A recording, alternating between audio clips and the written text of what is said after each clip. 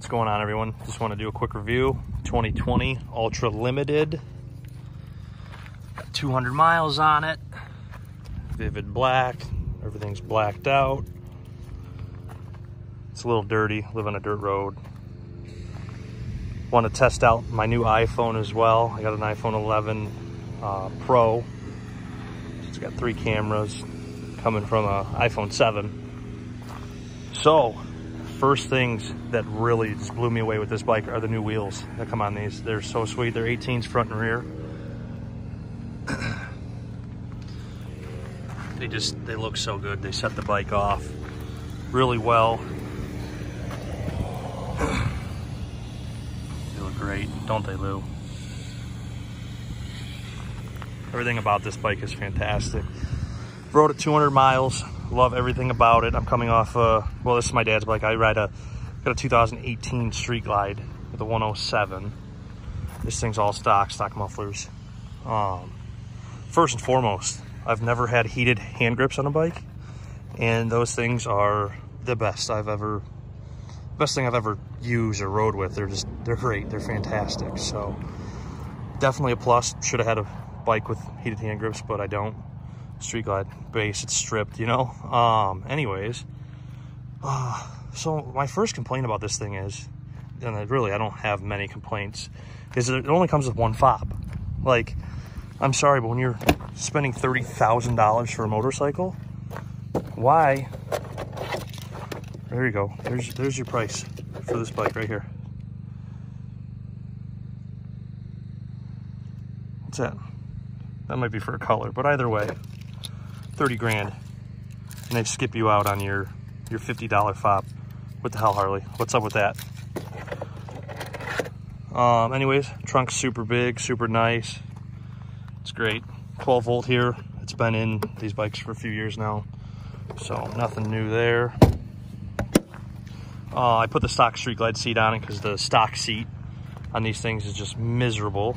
It is god awful. I'm six foot one, six foot got a 34 inch uh, inseam on my jeans. So that seat just, it's too short and uh, I guess too tall, I should say. And it's too far forward. So it's for a short person, you know, it's for someone that's five nine, with short legs.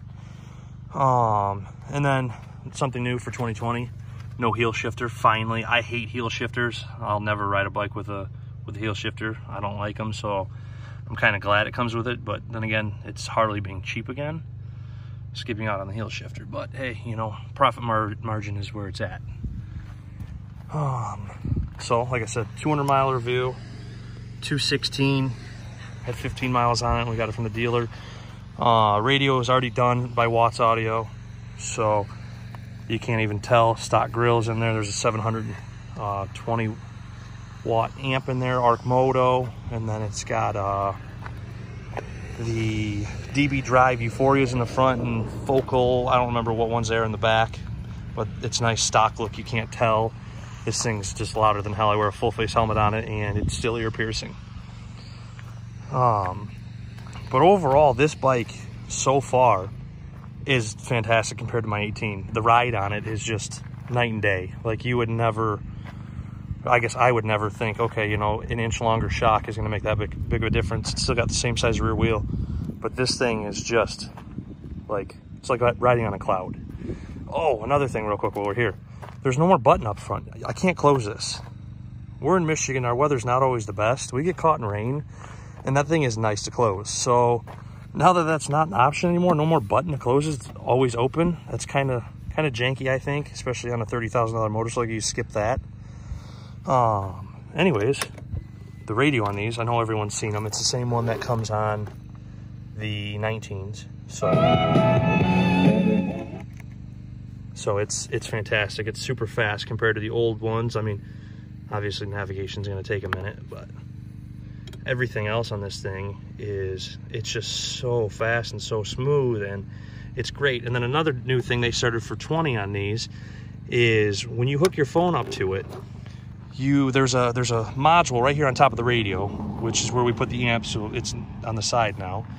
But that module, it tells you where your bike is. It's like the new cars. It tells you how much gas you have, how many miles till E, how many miles on the bike, when your service intervals are, all that stuff.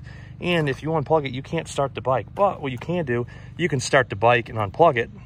And then there goes your whole LoJack, you know? So, you know, it, it's, I guess, a little thing to help Harley out or help, you know, insurance companies find stolen bikes. So, um, something I guess kind of cool if you want government seeing where you're at all the time. But hey, you have cell phones and they can always track you. Uh, 114, super strong running, love it. Uh, even for a stock bike, it, it runs really good. My bike, if you've watched a couple of my videos, I have a cam in it. And uh, just basic stuff, and it, it, it, cruises for what it is. It's fast, but this thing is, uh, for being stock, I'm actually very impressed with it. It runs really well for what it is. Stock LEDs, they're black on this thing now, which is sweet. So, I mean, they're bright. They're, they're the uh, Harley Daymaker and the uh, fog or spotlights, whatever you want to call them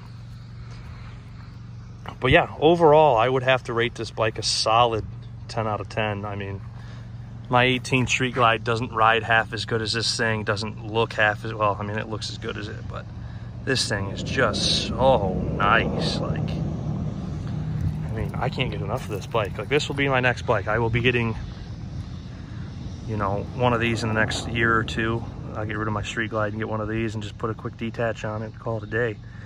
Because, I mean, just the ride on this thing compared to my Street Glide is night and day. My Street Glide ride's like complete garbage.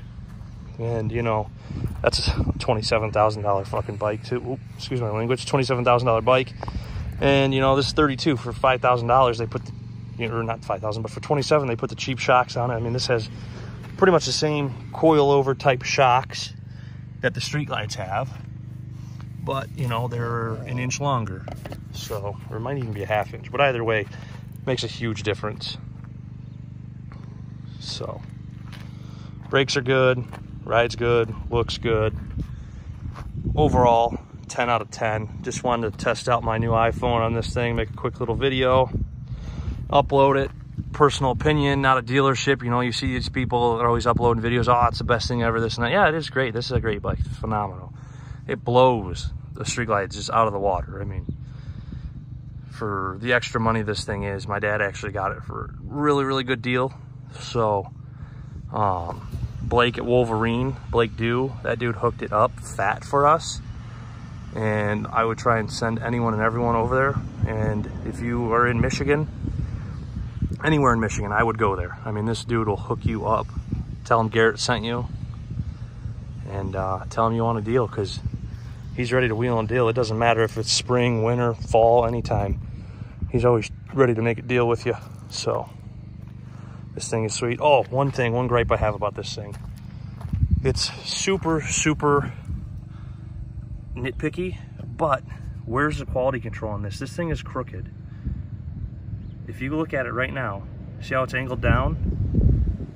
See, this side's lower, so it's angled down, and it's not because the bike's on an angle. You know, if I hold my camera crooked, sideways, whatever, it's still crooked. So where's the quality control on that one, Harley? Super not excited about that. But overall, this bike is sweet. So over and out. This video is done and over with. Any questions, please comment. I'm going to make a couple more videos on this bike. Try using this phone a little bit more too because this camera is awesome. And yeah, I might as well take advantage of it. It was an expensive phone, so... I'm going to use it all I can. Okay, over and out.